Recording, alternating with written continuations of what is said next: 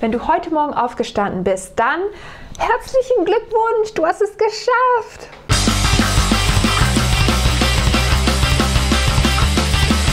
Ganz ehrlich, ich finde, wir können uns hin und wieder mal selbst auf die Schulter klopfen, wenn wir morgens überhaupt aufstehen, weil das Leben kann manchmal so schwierig und unmotivierend sein.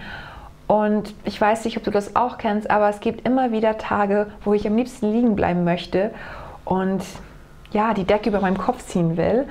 Doch dann wiederum stehe ich trotzdem auf, ziehe mich an, mache mich zurecht und versuche das Beste aus dem Tag zu machen.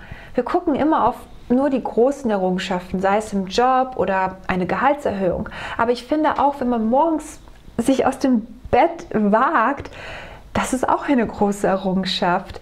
Vielleicht denkst du, das ist keine besondere Sache, aber doch, das ist eine besondere Sache.